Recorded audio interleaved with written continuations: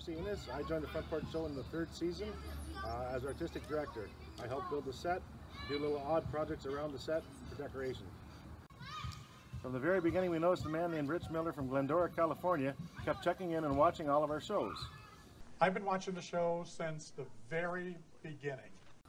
Show after show, he checked in, and when it came to the Ellen project, he jumped right in to try to help to get Ellen on our show. Where's Ellen? That was your job. I know, it is my job. So I want you to close your eyes and envision Ellen. Okay. All right.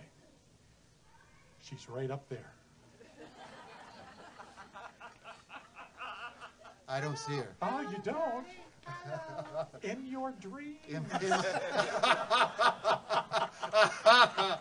No, God. seriously, we are still working on getting Ellen you're, here, you're so- also working on who? The other person? Yes, we actually have contacted uh, Jimmy Fallon.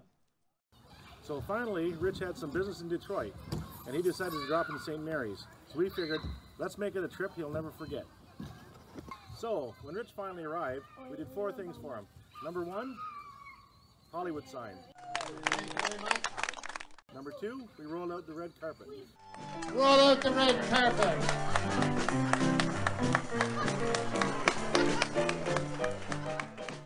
Number three, Frank wrote a song for him. Let's go. One, two, three, four.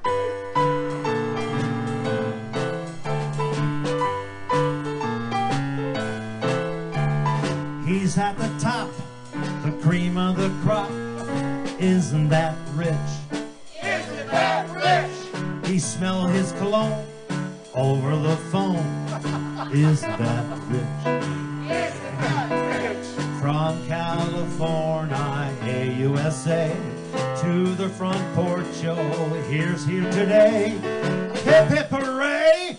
Hip hip hooray! One more. Hip hip hooray! The toast of the town, he woos all the gals. Isn't that rich? Isn't that rich? The cat's meow of the Hollywood crowd. Isn't that rich? Isn't that rich? Pizzazz, class, razzlement, all of that jazz.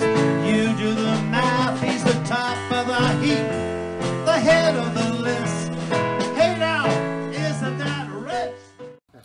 When the show was over at the post-production party, Richard said he had never gotten a welcome like he had gotten from St. Marys.